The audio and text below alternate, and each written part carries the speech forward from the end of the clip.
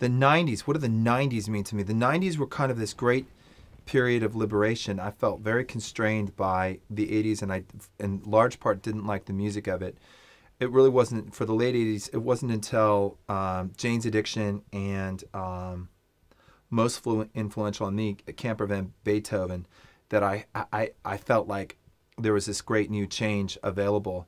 Um, I'd gotten out of uh, college and I um, had been in these institutions my whole life.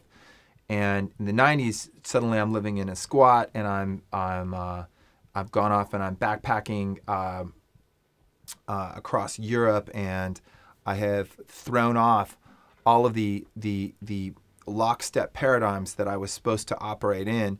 And in the 90s, I was able to begin to um, create those on my, on my own. So um, that's most of what I think about uh, in in the 90s. And then in the late 90s, again, it seems like these these changes in in in uh, uh, in decades. I um, was in the whole major label system, and our band, who never expected to have a big hit, got this big uh, hit song with a very improbable Semi-Charmed Life.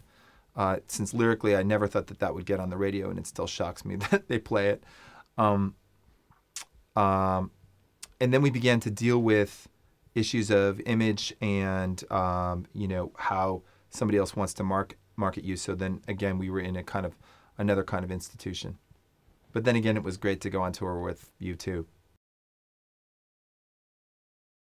I would like to think that alternative rock means people who are who are making music that demands to be heard, that have a kind of eroticism in the way that they play, that says we are going to step outside of uh, the uh, the the dominant paradigm, and we're going to provoke and we're going to challenge, and we're going to do things on because it matters to us and it's vital to to us. I would like to think that that's what it is, but I think it you know very quickly becomes something that somebody can make a buck on, and it like like any other form of of commercial music, it becomes something that people uh, figure out ways to slat and market so that they can sell products to uh, young boys.